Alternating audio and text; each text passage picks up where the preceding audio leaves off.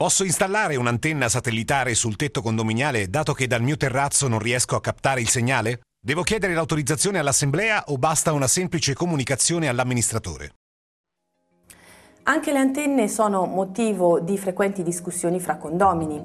In mancanza di disposizione contraria del regolamento, il condomino può installare l'antenna sul proprio balcone, sul tetto o sul lastrico solare, sia questo condominiale o di proprietà esclusiva, anche in presenza di un'antenna centralizzata già esistente.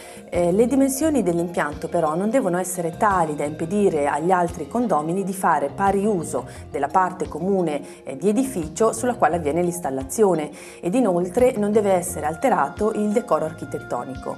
Attenzione però perché alcuni comuni hanno deliberato la rimozione delle antenne paraboliche installate sui balconi a favore della centralizzazione degli impianti.